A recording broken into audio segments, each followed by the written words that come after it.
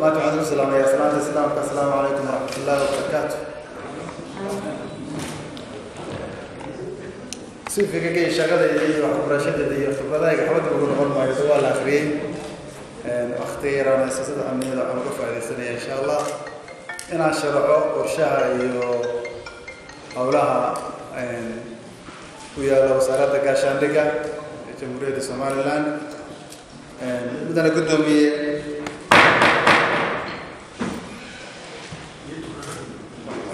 wasaaraddu anigu waxaa la magacaabay digreetada hadda halka lagu aqriya lagu magacaabay wasaaraddan xilka waxaa loo wareegay toddobiyo labaatankii december. Intii wasaaradda lagu wareejiyey fahan iyo baraamin iyo bisha joogto iyo qaab dhismeedkeedu inaan darso baan ku jiray. Annagoo halkaan marayna wasaaradda waxaa lagu waxaa la dul keenay isla saddex hay'adoo madax bannaan oo wasaaradda la hoos keenay taasoo iyana culeyskeeda ku soo siyaasay wasaaradda halkaas markaa haddaan idinku istaajiyo wasaaradda wasaarad ballaadhan weeye ciidamada qaranka jamhuuriyadda soomaliya o dhan baa hoos yimaada. Saddex ciidamoo kala duwan maxkamadaha milatariga ayaa hoos yimaada. Wasaarad baa xaddooda aada u ballaadhan tahay weeye intaas waxaan ku darayaa dhammaan ogtihiin xaalad yar oo xaggii bari ka jirta baa jirtay. Insaanka ciidamadu dhammaan nabadgelyo iyo nabadsamaadku waa bariisteen aan wax carqalada jirin. Guuxguuxuu iska jira oo abaabullo waa la dareemaya laakiin alxamdulilah nimco ilaa weye saaka nabadgelya ku waa bariisteen. Taas waa taa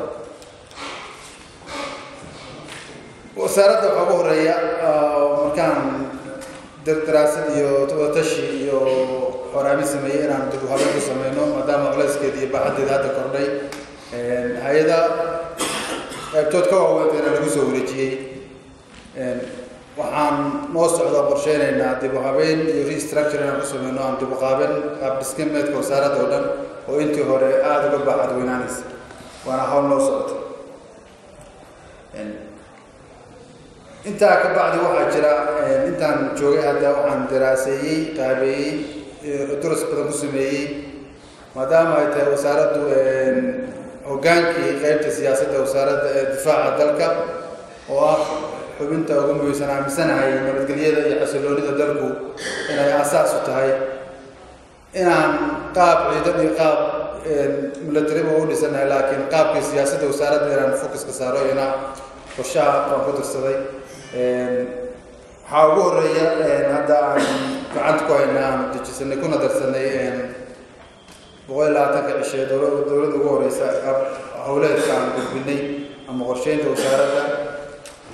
Number one inaanu eegno xeerka howlgabka iyo maxaan ku rahda xaqsiinta ciidamada qaranka taasoo ah waxaa jirta yani waad la socotaan ciidankeenu waa ciidan balaaran rag badan oo hadda macnaa inay dhistaan oo runtii ay baa ku jira raggaas muddadii lagaga saari lahaa midakaaba uma jidkii ma fura just macnaa tusaalehaan hadaan siiyo ciidamadeena waxa weeye albaab laga soo galo waa leeyahy lakiin albaab laga baxo mala insha allah waxaa qorshaha ugu horeeya lagu jiraa inaanu furo albaabka oo u sameyno dariiq ay pensionka ku galaan ama retirement ku galaan. Marka qaab samayntii sharcigii macnaa pension loogi waxa afka qaad loogu yeedho ama sharcigii howlgabka ciidamada qaranka taas waa howlaha ugu horreeya aanu sameynayno insha allah bay ka mid tahay waa inin imanaya sharcigaas. Taas waxaa ii dheer waxaan ina diyaarinaynaa oo ina noo taalla oo ina wax la yidhaahdo national defense strategic plan. Qorsheynta difaaca ciidamada qaranka. Oo taas ma aha inay waxay sameynaysaa marka inaan anagu jaangoyn inaanu sameyno strategic aanu yeelano waxay qabanayso for example laba sana bas garanaynaa labada sana soo socota waxaa wasaaraddu qabanayso. Taasoo aanu macnaha qayb qayb u dursanayso wax target aanu yeelanayno insha allah. Halkii ay iska shaqeey ahaan lahayd taasina waa aduu hawsheeda waa ku wada jira aduu two thousand eighteen two thousand twenty. Inaanu qorshe cad oo aan wasaaradda ku shaqeyso yeelano waxaa iyana jirta shaqaalaha wasaaraddu uu isku xogaa qasan yahay wax kala habeyn iyo ama maxaa la dhahaa waajibaadka shaqooyinka shaqaalaha wasaaradda. Iyadoo ruuxeeda inaanu kala jidayno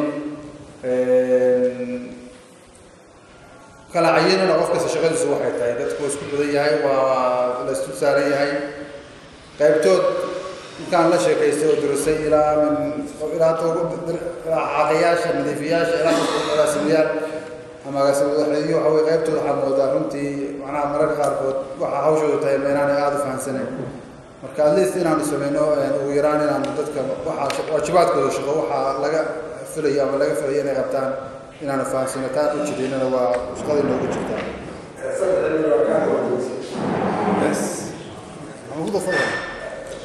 waa gunaanada yaabis waa gunaanada de waa la soo magacaabay secreta lagu soo magacaabay waxaa looga soo magacaabay waxaan idinka codsanayaa xubnaha sharafta halka fadhiya sida madaxweynaha qaranka jamhuuriyadda somaliland ugu aaminay xilka ugu magacaabay inaad idina kalsoonidiina ii siisaan iguna kalsoonaataan insha allah aanana siday taa uga soo bixi doono wax badan oo idin farxi geliyana insha allah aad ka arki doontaan. Aad baan idin salaamaya asalaamu calaykum waraxmatullahi wabarakaatu